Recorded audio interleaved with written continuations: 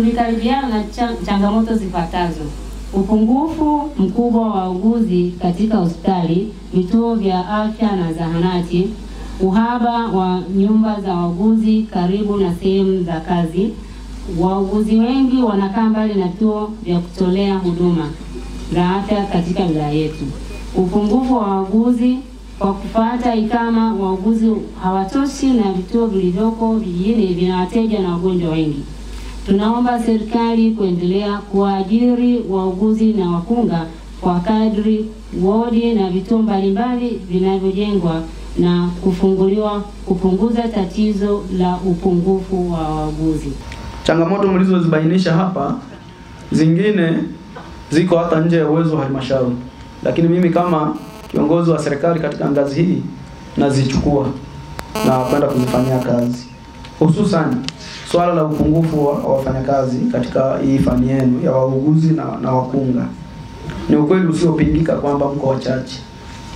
Eh, japokuwa tunatambua pia kwamba serikali haijanyamaza. Na uchache wenu sio tu kwenye sekta hii, ni sekta nyingi zina wafanyakazi wachache.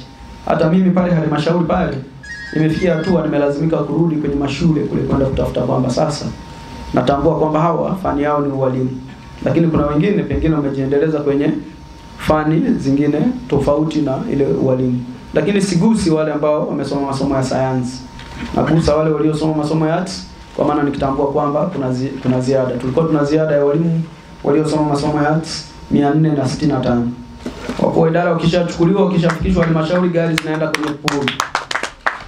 Hata mimi hiyo niliyoletwa nayo hapa, ndugu zangu, siku zote sio kila wakati mnavyoiona inapita huko kweli mimi nimo, hapana.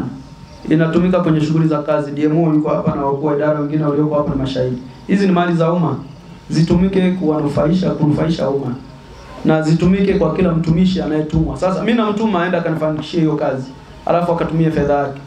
Kwa hapa kuna vitu fulani ambavyo pia nimejifunza na naamini DMO hata hapa kwako hayo mambo haya. Namba zangu mnazo, nitumieni tu message, mniambie kwamba mkurugenzi, huku tunatumia rasilimali zetu mfukoni, gari za umma ziko hapa zimepaki. Huo Mungu meza haupo, gari ni za umma. Sawa ndugu zangu eh? Eh.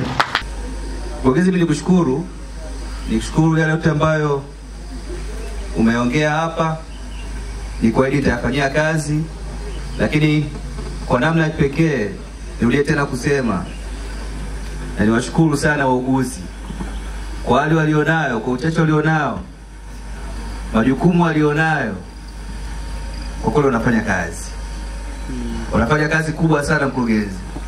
Hilo nakiri mbele yako na nakuomba hata ukimwona mhudumu pale amekuja ofisini kwako mkurugenzi, nakuomba sana mpe kipaumbele, ninakuomba sana.